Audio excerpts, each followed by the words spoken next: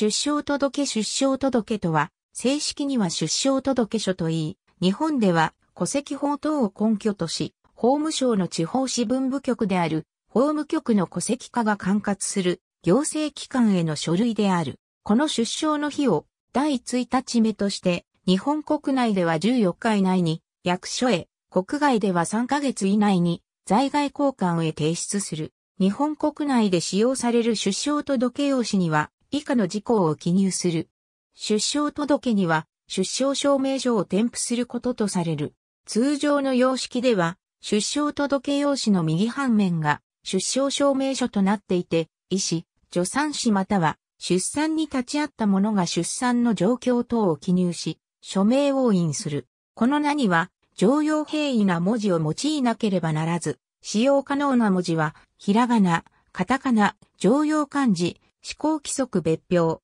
第2に示されている漢字である。この氏名の読み方は戸籍には記載されないが、地方公共団体によっては、住民票に記載、記録するところがある。届出義務者は、原則として父または母である。ただし、この出生前に父母が離婚をした場合及び着室でないこの出生の届け出は、母がこれをしなければならない。父母が届け出をすることができないときは、その同居者、出産に立ち会った者が届け出をしなければならず、父母の法定代理人が届け出をすることもできる。病院、刑事施設その他の公設所で出生があった場合に、父母が共に届け出をすることができないときは、公設所の長または管理人が届け出をしなければならない。なお、公開中の船舶であって、公開日誌を備えるものの上で出生があったときは、船長が24時間以内に公開日誌に第49条2項の事項を記載し、署名捺印した上で、入港した地でその当本を役所に送付する、旨の規定があるが、この場合、船長に申し出て、記載を受けることにより届け出と同様の効力を生じるものと解される。なお、この記載事項には、戸籍法の分離上は、生まれた子の氏名が含まれないが、公開日誌の様式を定める、船員法施行規則の第2号書式には含まれている。この点を論じる文献は乏しいが、期限が24時間以内と短いこと、また建前としては記載するのは船長であり、他人の子を命名してしまえることになることなどを考慮して、氏名の届け出は追加によることを原則としつつ、当事者からの申し出による場合にはそれを認める趣旨と解すべきか。提出忘れ、記入漏れ、この名前に使用できない漢字を用いるなどの不手際で、出生届が提出期限の14日を過ぎてしまうことがある。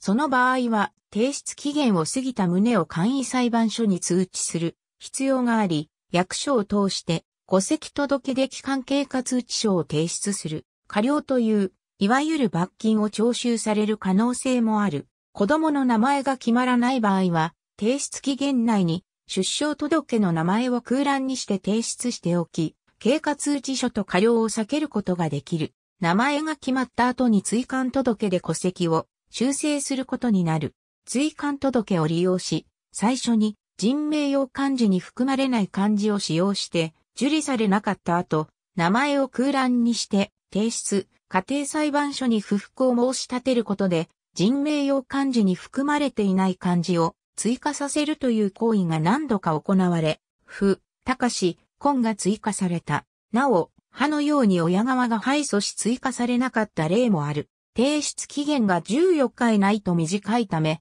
出生届は必ずしも本籍地の市区町村役所でなくてもよい。本籍地、居住地または出生地の役所で受理される。なお、出生届は24時間365日受付が可能である。ただし夜間及び休日等は担当職員が不在である場合が多いため、通用口にいる警備員、守衛等に預ける形となる。これは、この誕生という事実が、相続など、親、親族をはじめとした身分行為に絶大な影響をもたらすためである。通常は出生届が受理されると、児童手当や乳幼児受給者証の申請、申請時の保険指導の申し込み等も合わせて行う。そのため、母子健康手帳と印鑑を持参する。親が婚姻関係にない場合の子は、原則として子を産んだ母親の戸籍に入ることになる。この際、母親が戸籍の筆頭者でない場合には、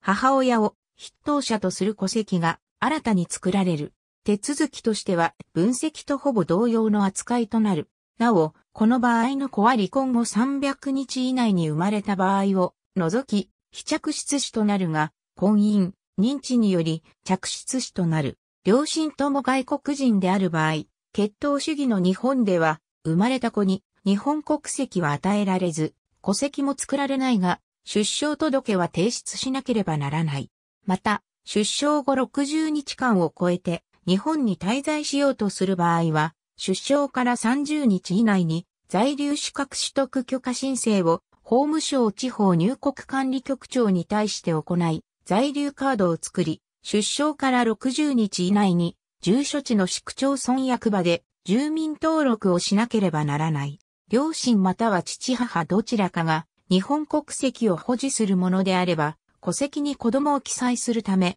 出生届を在外交換または総領事館に提出する。子供の出生国により、両親または父母どちらかの本籍地に直接郵送して提出することができる場合もある。書式は在外交換にしか置いていないが、出産前に郵送で取り寄せることも可能である。日本の書式と異なる点は、本籍地の枠内にある父母の国籍を記入する欄と、その他の枠内にある日本国籍を留保するという欄である。日本国籍留保、編集記事主義のアメリカ合衆国、カナダ、ブラジルは国内で出生した子供に自動的に国籍を与える。ドイツ、フランス、中国、フィリピンなどは父母どちらかが国籍を持っていれば子供にも与えられる。出生届の日本国籍留保欄に署名、捺印すれば、子供は22歳まで日本国籍と他国の国籍を多重して持つことができる。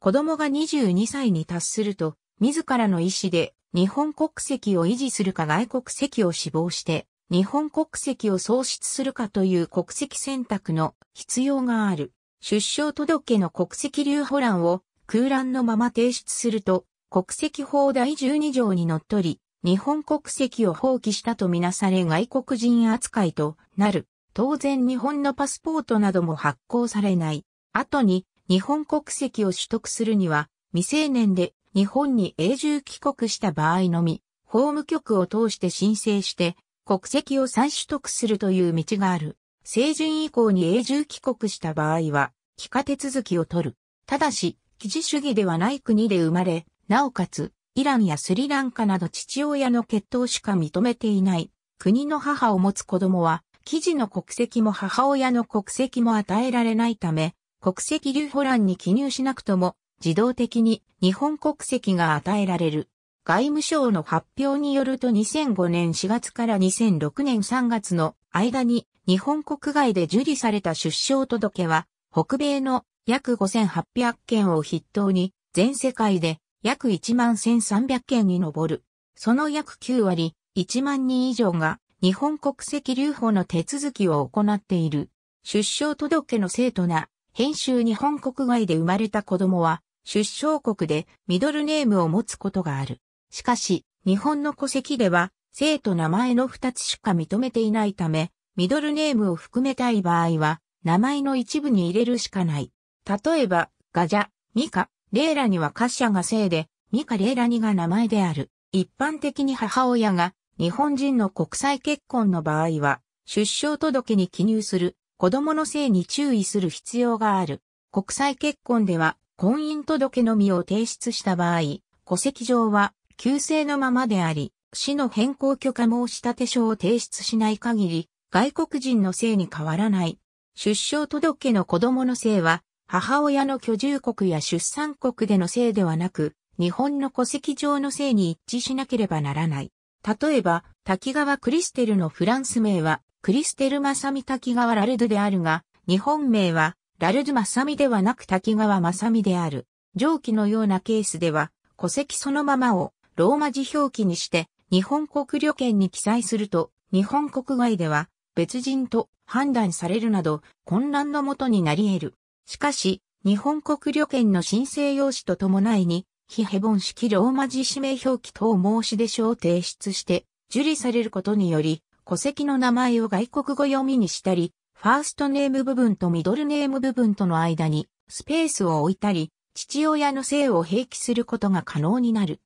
例えば我がシャミカレイラニを、吉から色にガジャでなく、吉かレイラニガジャ、滝川正美は、正美滝川と表記するなど、できるだけ外国名に近づけることができる。日本と異なり出生届は2枚提出する。在外交換は、管轄地域が決まっており、出生地の管轄である在外交換に届け出る必要がある。出生国によっては、日本の本籍地に郵送で提出することも可能である。出生証明書や、現地国で発行された出生登録証明書など、書類準備に多少時間がかかるため、提出期限は余裕を持って出生後3ヶ月以内となっている。人が出生した時は14日以内に、本籍地の市町村に届け出なければならない。これは、出生地においてもなし得る。届け出義務者は、着出市の届け出は父で、父がなし得ない時及び、旧民法734条1項、